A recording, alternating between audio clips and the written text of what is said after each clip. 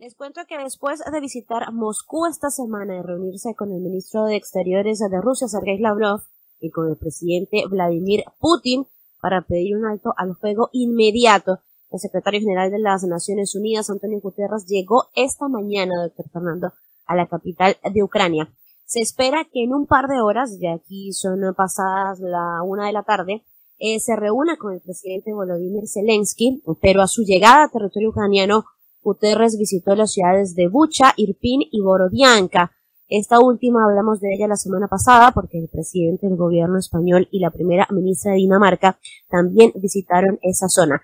Estas ciudades, el doctor Fernando de Mar, se encuentran muy cerquita de Kiev y en todo el mundo las tenemos ah, presentes, pues han sido el escenario de matanzas en contra de civiles que autoridades ucranianas atribuyen a Rusia, pues fueron encontradas fosas comunes y cientos de cadáveres en las calles después de que las tropas rusas abandonaran este territorio para reorganizarse en el este del país, precisamente en la región del Donbass, que es donde se concentra la guerra en este momento.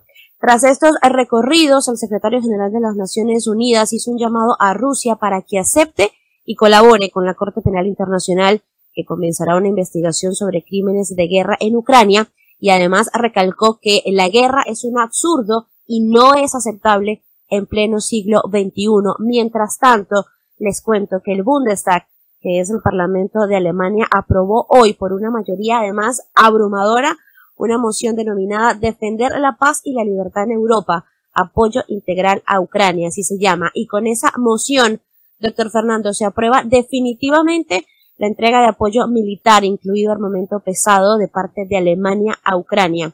La moción dice además que además de las sanciones y el aislamiento de Rusia de los mercados internacionales, la forma más importante y efectiva para detener la invasión de Rusia a Ucrania es intensificar y acelerar la entrega de armas efectivas para que el país se pueda defender. Según informó la Duche Vele, la moción fue respaldada tanto por los tres partidos de la coalición gobernante como por los conservadores, que son el partido de oposición, y fue aprobada con 586 votos a favor y solo 100 en contra. También hubo 7 abstenciones. Así las cosas, el apoyo militar a Alemania, de Alemania a Ucrania, que se demoró muchísimo en llegar, ya es un hecho. Es un hecho, el apoyo, el apoyo del mundo entero a Ucrania. Pero qué tal el mundo en poder de semejante loco, de semejante disparatado que es el señor Putin. Y si no fuera bastante, eh, no demasiado lejos, el señor Kim Jong-un sigue haciendo pruebas de misiles nucleares. El mundo en manos de semejante par de locos del señor Putin y del señor Kim Jong-un. Pero esa es la realidad y eso es lo que tenemos que vivir. Vamos a ver qué ocurre, pero esto se demora y se demora y mientras tanto Ucrania se desangra. Ucrania se vuelve pedazos.